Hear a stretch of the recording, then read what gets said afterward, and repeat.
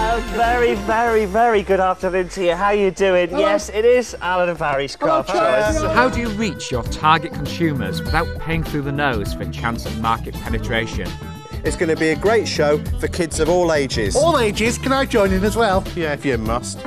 But if you want something really personal, Oh, you can no. take a picture, Not the mug shot. the mug shot. You can take, oh gosh, Not oh, the that's mug shot. Yeah, that's take a old. picture, and then what you do is you finger paint over the top like that. Finger paint in the clear, cut round the edge, take the top off, and then you can personalise your own vases.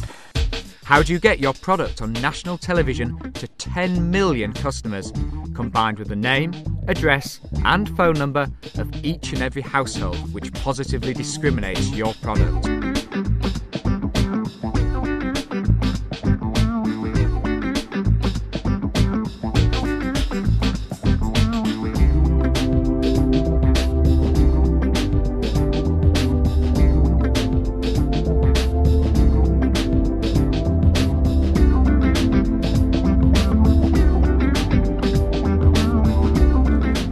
Eight one two four three one. Set of three swivel top knives. They've gone limited. They're not going to. Oh, they've sold, Sold out. out. Sorry, Chucks. The next one is sold out. Keep the item number. We'll get it back as quick as we can. Likewise with the next one.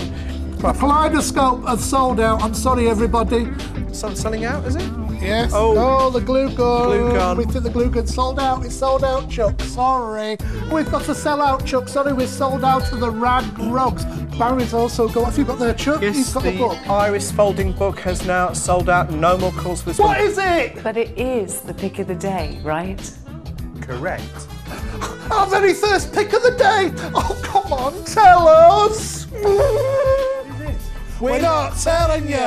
You'll have to tune in to the next craft pick of the day on Sunday at nine o'clock. Oh, that's oh, fantastic. With sand and glass painting. I don't know. Can you use it with scissors? Yes. Can you use it with this mirror? Yes. Can you use it on the front door? Yes, you can. There are so many more ways to get creative with Alan and Barry.